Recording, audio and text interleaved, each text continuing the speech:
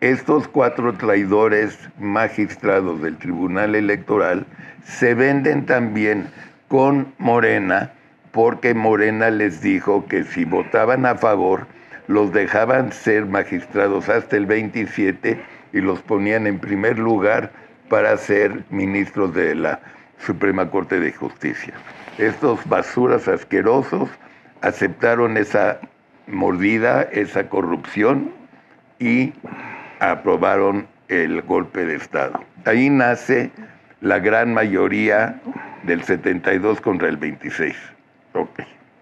Y es un golpe de Estado dado por consejeros del INE, por la basura de presidenta del INE y por los cuatro de los cinco ministros de magistrados del Tribunal Electoral. Voy a tratar de ayudarme y ayudarlos a una lógica. ¿Cómo empezó el desastre? Hay una elección en que gana Claudia Sheinbaum con 36 millones, una elección de Estado.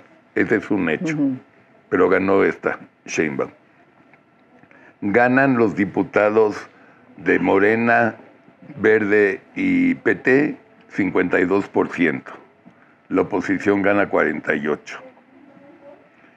Hay una ley ambigua en la cuestión electoral sobre los famosos este 25% máximo, 12%, ¿no? de la ley del 12% para cada partido. Ah, no, le, agregaban este 8%. 8%, ok. Y por arte de magia, los consejeros del INE, porque se vendieron... Y los magistrados del tribunal. Sí, voy, voy hermanito, mano. Ah. Los, empieza la historia del golpe de Estado con los consejeros del INE siete consejeros del INE, de 11 se venden y dicen que la ley dice lo que no dice, pero sí dice.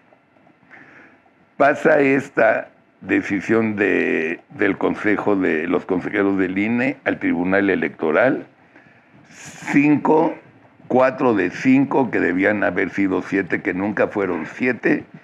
Cuatro le dan la razón a los consejeros porque también se vendieron estos cuatro magistrados, excepto una, una jueza que no se, una magistrada que no se vendió, y le dan la razón a los consejeros, y el Tribunal Electoral en ese momento valida el golpe de Estado dándole a, a Morena 72% de los diputados, nosotros con 24, 26%.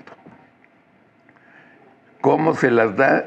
Estos cuatro traidores magistrados del Tribunal Electoral se venden también con Morena porque Morena les dijo que si votaban a favor, los dejaban ser magistrados hasta el 27 y los ponían en primer lugar para ser ministros de la Suprema Corte de Justicia. Estos basuras asquerosos aceptaron esa mordida esa corrupción y aprobaron el golpe de Estado. Ahí nace la gran mayoría del 72 contra el 26. Ok.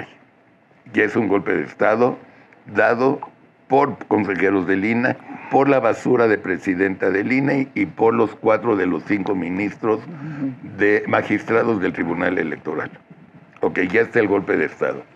Pero ¿qué tal que faltan dos jueces o tres jueces para que las basuras estas tengan la mayoría absoluta. Las dos basuras del PRD son sobornadas inmediatamente por Morena, pasan a Morena y les dan una jefatura de una comisión a cada uno de en Morena. Y luego la basura asquerosa de el de Movimiento Ciudadano que tuvo su papá enfermo o en la cárcel o lo que quieras, detenido, lo que quieran, tampoco vino a votar y traicionó al país. Y luego las mierdas y basuras de papá Yunes e hijo Yunes dan el último golpe a la democracia traicionando a México y se van a Morena. Y ahora sí Morena, de un voto que hubo 52%, se convirtieron en 76 y nace lo que es la primera y la gran dictadura. Hasta ahí voy bien, ¿no? Han sido sobornos, dictadura, todo eso. No me falta nada, ¿verdad? No, hasta ahí. Ok. Bueno, entonces se forja en México una dictadura absolutamente ilegal, corrupta, gracias a los consejeros del INE y, y magistrados del INE que nosotros habíamos apoyado como instituto, nos traicionan, nos dan una cachetada en la espalda y, traicionan a México. Ok. Viene la reforma judicial y en pleno, cambio de presidenta, cambio de, de Congreso, mayoría absoluta, y no, ellos aprueban en fast track la reforma judicial. Los ministros dicen, esto no está bien, la aprobaron mal, la aprobaron en este en el Palacio de los Deportes no, no hay de armas de no, Magdalena Michoacán. Sí, no hay no hay nada este real en esta elección que ustedes aprueban en la reforma. Váyanse al carajo, pinches jueces, ya se van, los odiamos y empieza la nueva pugna de esta semana. Sí. Que según nuestro amigo Ramón Alberto este, Garza y Paco Torreslanda y, y su servidor y ustedes dos también desde el martes, estamos a punto de caer en el conflicto más importante de la historia de México a nivel demócrata. Y ahora resulta que la basura asquerosa de Monreal está apurando ayer a los, a los congresos de los estados para que aprueben en fast track sin leer la... Ya van 10. Sí, y faltan cuatro. Y hay carrera contra los ministros que sacaron una nueva, este, una, digamos, una nueva ley. Una nueva reforma, lo de la, supremacía, la supremacía constitucional. Ok.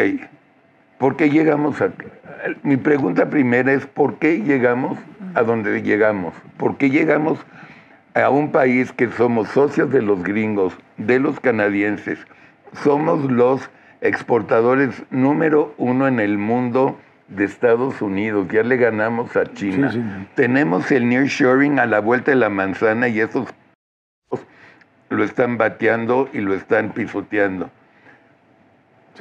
Teníamos la oportunidad de ser un gran, gran, gran país y mira la mierda que nos están llevando. Mira, Carlos, empezaste muy, muy bien. Es decir, comenzaste a, cuestionar el papel que están, que en su momento tuvieron los consejeros del INE y los magistrados del Tribunal Electoral.